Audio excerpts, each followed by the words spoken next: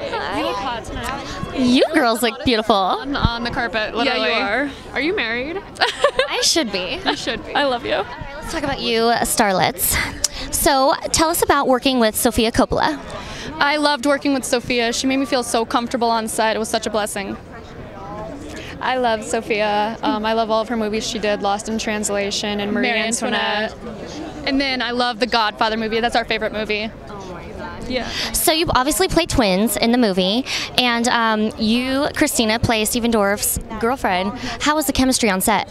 Well, me and Stephen are really good friends and we connected very well. He made me feel very comfortable on set, him and Sofia.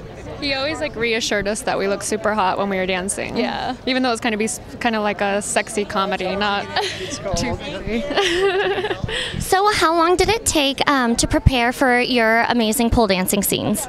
Um, we practiced three hours a day for three weeks and it was pretty intense and it was a lot harder than it looks. we're definitely not in the same shape that we were when we filmed. yeah, I know. It was like intense training. Okay, so last question, both of you girls. Please tell us something exclusive only for the Maximo TV audience. Kristina, what projects are you working on?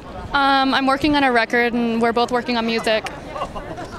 Um, I've been working on music for about two months now, and I'm just finishing up my album and I'm um, doing it with my boyfriend Sam Jones III. We've been together a year now, and our year anniversary is in um, New Year's.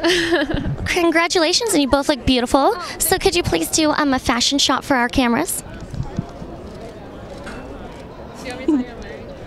What? Oh, yeah. Jason, Jason of Beverly Hills jewelry, and then I have um, my uh, Christian Louis Vuitton shoes that I love. My boyfriend got them for me for my 21st birthday. All right, I'm excited to see this movie. What kind of music is your album going to be? Um, club hits.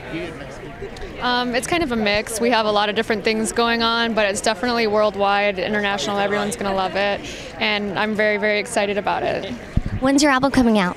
Uh, I'm not sure. We're finishing it up right now, Next but year. not next year. It's probably done within the next three weeks, but I don't know what time we're releasing it. But um, I'm super excited, and I'm very happy because I get to work with my boyfriend. So I want to marry him. So I think that's the exclusive um, tidbit right there. I want to marry my boyfriend Sam Jones III. So, Kristina, uh, tell us about your um, love life. So, what's going on with you? I'm single and dating. I'm single and dating. She's she's playing the field right now.